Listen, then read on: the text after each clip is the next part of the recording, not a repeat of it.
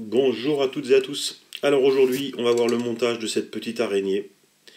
Donc cette petite araignée, beaucoup la connaissent, c'est très facile à monter, c'est pas compliqué. Mais justement, c'est très compliqué pour un, débutant. Donc aujourd'hui, cette vidéo s'adresse aux débutants. On va décomposer justement cette petite araignée. Donc après le préambule de présentation, on va passer sur papier.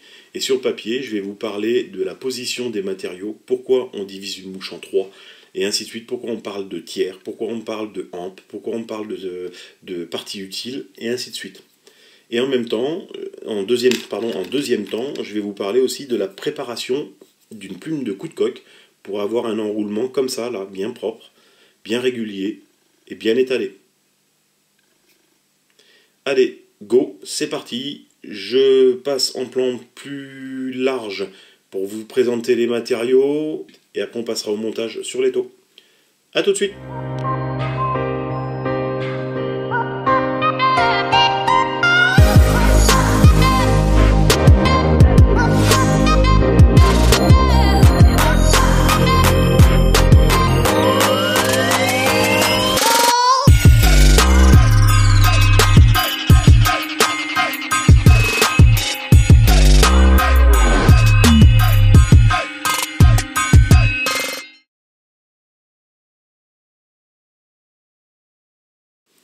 Alors, pour constituer cette petite araignée qu'on va apprendre aujourd'hui à monter, pour les débutants bien sûr, hop là, je mets un petit peu plus près, voilà, donc les matériaux. Euh, pour faire les cercles, alors bien sûr, on va prendre de la fibre longue, donc on prend toujours, voilà, une pelle, alors toujours, pelle de limousin, pelle de pardot, pelle, euh, pelle tout court, voilà, une pelle à ciment si vous voulez, non, bref, on prend de la pelle. Alors de la pelle, euh, pelle de limousin, pelle de pardot, ou après, si on veut des fibres un petit peu plus grandes quand on va monter des mouches de mai, on va commencer à taper voilà, sur de la fibre type euh, faisant, qui va nous servir soit à réaliser des corps, ou aussi les cercles. Alors les cercles sont constitués toujours de grandes fibres. D'accord? Donc ça c'est la première des choses. Donc il nous faut de la pelle. Après, pour le corps, on va prendre un dubing. Alors moi, comme d'habitude, prends souvent un petit dubling euh, comme ça, là, flottant. C'est de la fibre synthétique fine. Vous avez plusieurs couleurs, hein, plusieurs étapes. Vous voyez, j'en ai, j'ai que deux boîtes à mon, actif. Voilà la première. Et voici la deuxième, parce qu'il y a des couleurs qui sont différentes. Mais les couleurs qui sont dedans, moi, elles sont bien suffisantes et utiles. Vous voyez, là, aujourd'hui, on va utiliser la jaune qui est là. Et on va se monter une petite araignée toute jaune. Vous voyez, après, on retrouve à peu près les mêmes dans les autres. Hein. Mais bon, c'est deux, blisters différents, mais c'est du dubbing fin. À suivre, pour monter donc le corps, je viens de faire voir le dubbing, pour monter l'aile, donc là on va partir sur un coup de coque. Voilà, là j'ai un coup de coque marron, c'est celui-là qu'on va prendre, donc celui-là me sert souvent à faire des, mouches assez grosses, et puis euh, parce que vous voyez il en reste presque plus des petites à force d'utiliser, donc c'est un coup de coque qui a quelques années hein, maintenant, et euh, c'est vrai que ça coûte cher, c'est vrai que ça coûte même très cher un coup de coque. Hein. Euh, on commence, un bon coup de coque, on commence dans les. Un demi-coup de coque, pardon. donc la moitié, voilà, moi c'est un entier. Donc la moitié déjà, on commence à plus de 40 et quelques euros. Un bon vrai coup de coque comme ça, tout de suite on va taper dans les 80, voire 120 euros. Tout dépend du, coup de coque et le grade. Plus le grade sera haut et plus il sera bon.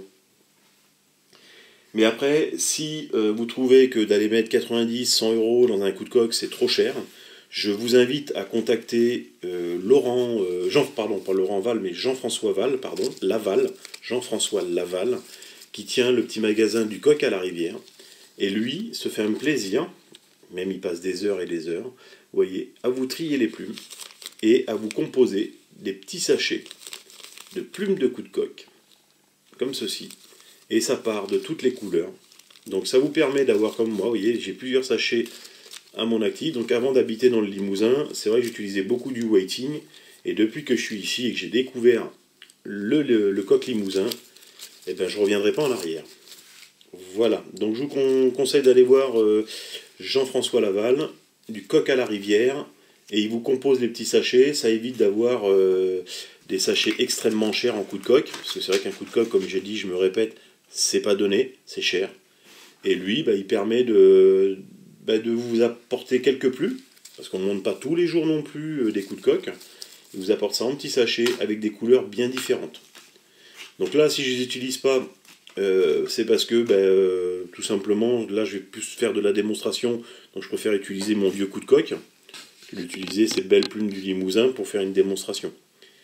Donc quand on a mis l'aile, et eh ben on va mettre un peu de dubbing. Alors le dubbing, comme j'ai dit, ça peut être soit du, ben, comme j'ai dit, du Fox Skirel, donc ils ont des poils, vous savez, des fibres assez, euh, assez longues, voilà, ce qui va nous permettre de représenter les pattes. Alors ça c'est du dubbing assez fin mais long.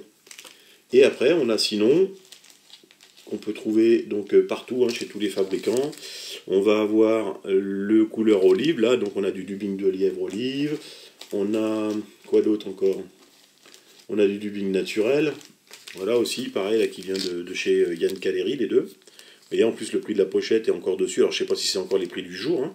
faudra voir euh, sur le site. Ça fait un moment que je les ai aussi, ces pochettes-là. Mais à l'époque, euh, vous voyez, c'était pas excessif pour quand même une grosse pochette. Hein. Et là, il y a quelques années derrière aussi encore. Donc, voilà, voilà. Ça, c'est pour le, corps. Et puis, bah, le fil de montage. Voilà, on va partir sur un petit jaune. Alors, dans les fils de montage, aujourd'hui, ce qui est très bon, comme fil, on a la marque Sheer, donc euh, S-H-E-E-R, qui est en 14-0. Ce sont des fils très fins qui permettent des montages très fins. Quand on est débutant, ah, je dirais que c'est pas la peine d'aller taper dans des fils aussi fins. Vaut mieux aller chercher chez Vevus. Donc Vevus et euh, Uni, je crois. Vevus et Uni, l'autre, ça doit être ça. Ouais, voilà, c'est Unitrite, ces fils-là, là. Qui sont comme ça. Qui sont en 8-0 10-0 et 12-0. Donc ça, c'est chez Uni, moi j'ai que du 8-0. Je sais pas s'il y en a des plus fins. Et après, donc c'est des bobines qui sont pas très chères, qui permettent d'avoir plusieurs couleurs. Euh, vous voyez, là j'ai le marron aussi, qui est un Uni. Bon, je m'en sers de moins en moins de cela, parce que je vous dis, moi je monte avec des fils très fins. Voilà, c'est aujourd'hui, c'est ma, ma façon de faire. Mais sinon, pour les débutants, les Unisrit ou les VFUS. Alors les VFUS, euh, vous voyez, en 12-0 comme ceci, pardon. Voilà. Vous avez aussi en cette couleur-là, enfin j'ai pratiquement toute la collection hein, de, des VFUS, que ça soit en 10, en 12, en 14. Et je crois que je dois avoir une ou deux bobines de, de 16. Mais bon, ça sert pas à grand chose le 16, parce que depuis que j'ai le chien, c'est vraiment nickel. Et après, bah, toutes les couleurs. Donc euh, pour ceux qui ne veulent pas investir le trop, vous achetez les couleurs là de Sheer. Le Sheer, il y en a 1, 2, 3, 4, 5, 6, 7, 8. 8, il doit y avoir 8, 10 bobines, je crois, 8, 9, 10, ouais, c'est ça, 11. Il y a 11 couleurs. Donc 11 couleurs à 2,50€, ou 3 euros la bobine, je crois. Donc on va être à 35-40 euros euh, le jeu de bobine. Là, avec toutes ces couleurs-là, vous avez de quoi faire. Donc voilà, j'ai décomposé tous les matériaux qu'il nous faut pour monter cette araignée. Et puis, bah, comme je vous ai dit tout à l'heure, vous vous rappelez bien, hein, euh, on divise notre hameçon en 3. Voilà. Et là, on va composer. Donc c'est parti, je mets en plan plus près, et puis tranquillement, on va monter cette araignée.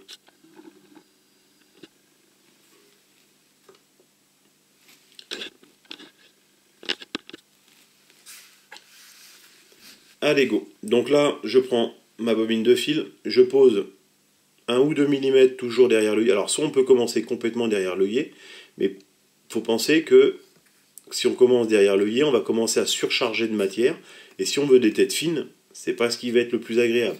Et en plus de ça, de commencer un petit peu derrière, donc un ou deux millimètres plus loin, comme ceci, ça nous permet déjà de, de décomposer notre mouche. Donc là, j'ai entouré mon fil, comme vous avez pu voir. Je ramène en spire très jointif, bien serré, sur mon autre fil que je tiens toujours à la main. Je l'emmène à peu près jusqu'au milieu. De là, je prends une petite paire de ciseaux fins, comme ceci. Alors ceux-là, ils viennent de chez Fusion. Hop, on est à l'envers, pardon. Ici, voilà, Fusion Fly Fishing. Les petits ciseaux à ressort comme ça, là, ça coûte que dalle. Ils ont les pointes très très fines, comme vous pouvez voir, et ça permet de faire des coupes très fines, et surtout de manier le ciseau dans tous les sens. Tac.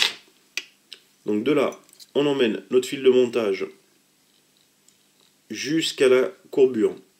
Donc en spire jointif toujours.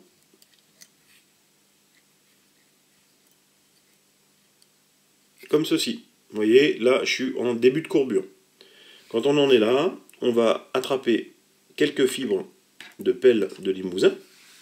Donc là, c'est pareil, de limousin ou de pardot, hein, chacun ira se servir là où il veut se servir.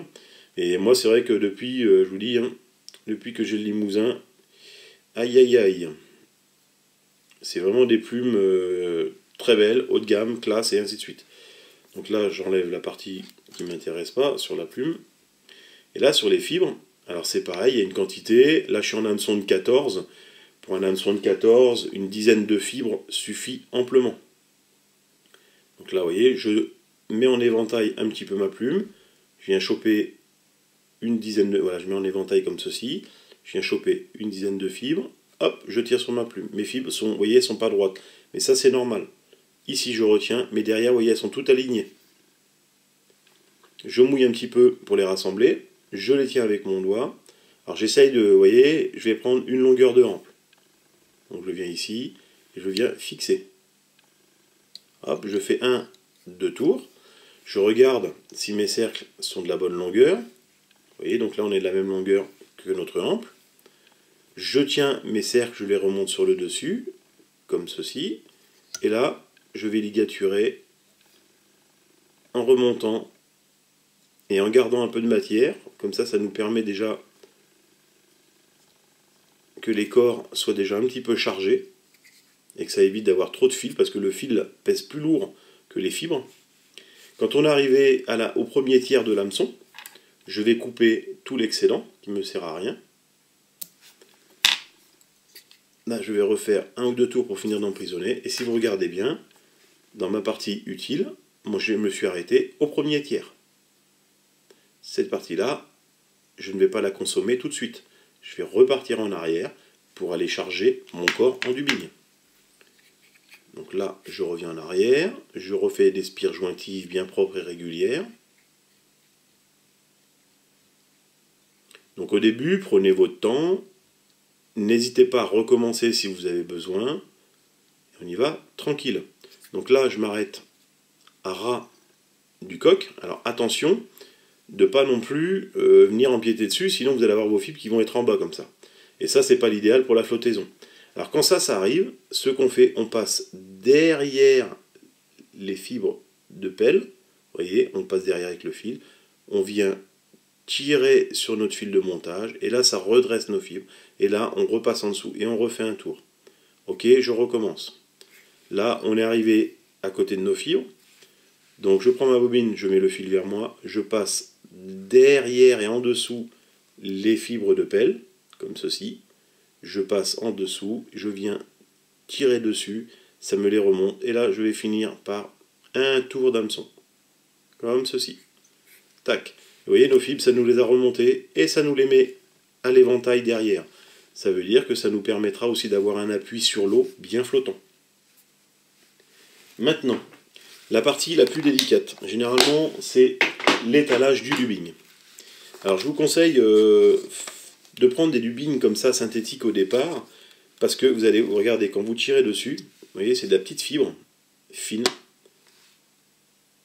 et qui, qui va vous permettre de réguler votre dubbing. Alors là, vous avez vu, j'ai pris une toute petite pincée. Hein. Ça sert à rien, parce qu'on en met toujours, toujours, toujours trop. Donc là, je prends mon fil dans la main, je pose mon dubbing comme ceci, vous voyez, sur mon doigt et là. Et là, avec mes deux doigts, je viens le malaxer, gauche-droite, gauche-droite. Vous voyez, j'ai commencé à faire une première amorce. Et là, je vais tourner dans le sens des aiguilles d'une montre, donc de la gauche vers la droite, mes doigts. Ici, en étalant bien mon dubbing, vous voyez, ici on est en pointe très très fine, et s'il faut, on vient tirer dessus un petit peu, pour donner vraiment une pointe très fine. Et là, on recommence. On malaxe entre les doigts, de gauche à droite, pour tasser notre dubbing sur le fil. On le pousse avec un doigt jusqu'au début, voilà, comme ceci. Vous voyez, il glisse sur le long du fil. Ici, on va amorcer d'un premier tour, d'un deuxième tour, et là, on va commencer à tirer un petit peu tout en tournant notre dubbing. Et là, on va commencer à faire nos enroulements en spire très très très jointive, voire même à revenir sur le corps au même endroit pour avoir de l'épaisseur. Et là, on y va tranquillement et on essaye d'enrouler bien fortement. Alors voilà, je retire encore un petit peu dessus parce qu'il se détend, hein, ce qui est normal. Et vous voyez, le fait d'avoir fait très fin au départ et un peu plus gros à la fin, Ça m'évite de passer 36 000 fois au même endroit. Même là, j'en ai un petit peu trop. Donc là, je tire sur mon, mon. Je continue de l'enrouler. Hop, on va défaire un petit cran. Voilà. Et là, ça me permet d'étaler et d'avoir ce corps régulier, propre conique. Là, vous voyez, j'ai entouré mon corps dans mon premier tiers. Enfin, dans mes deux tiers arrière, pardon. Et il me reste mon tiers avant. Dans ce tiers avant, comme je vous ai dit tout à l'heure, on a préparé cette plume. Donc là, j'ai la face brillante vers la caméra et la face sombre vers moi. Donc là, je vais retourner la plume, je vais mettre la face brillante vers moi, la face du dessous vers la caméra. Je vais la poser sur le côté, comme ceci, et je vais emprisonner, voilà, avec mon porte-bobine, mes fibres.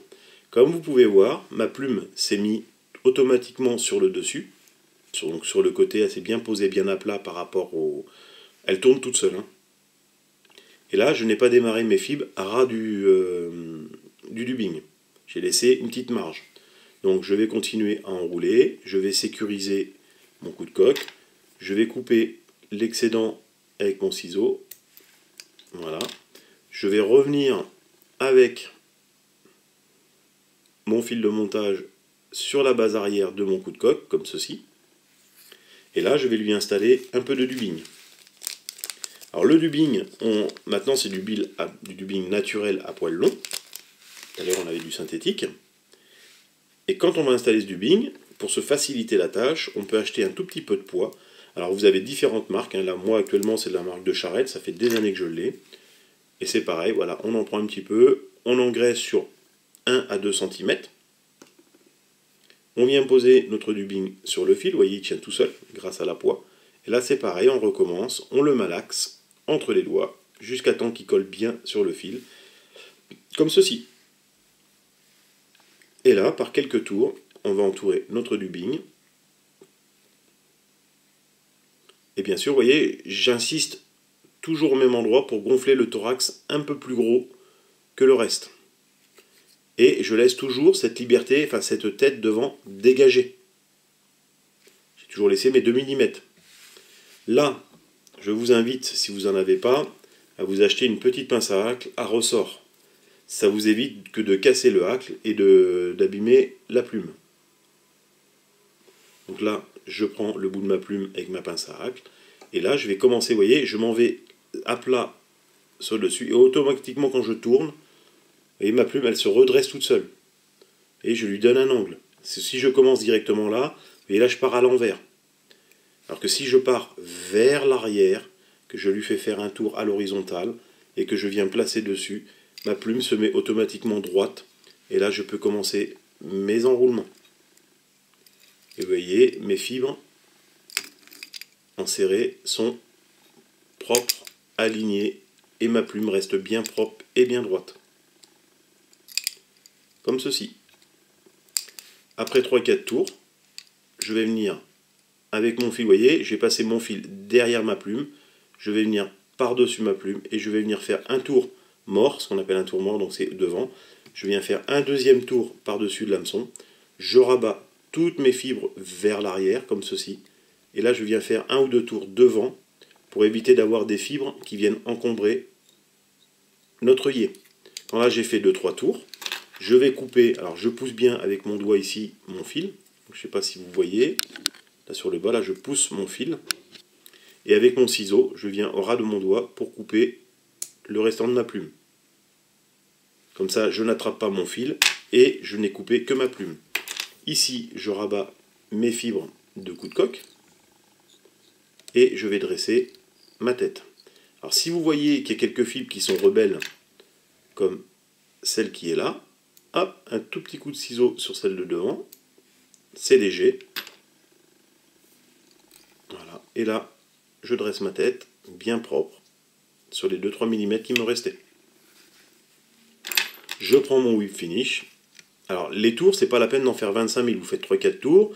La tête, quand vous la trouvez assez chargée, hop, vous faites 2-3 tours avec votre de bobine, et après vous prenez votre whip finish, et le whip finish, c'est pareil, c'est pas 25 000 tours, c'est juste un ou deux tours pour faire les nœuds. Comme ceci. Là, ce qui a été emprisonné, c'est de la plume rebelle.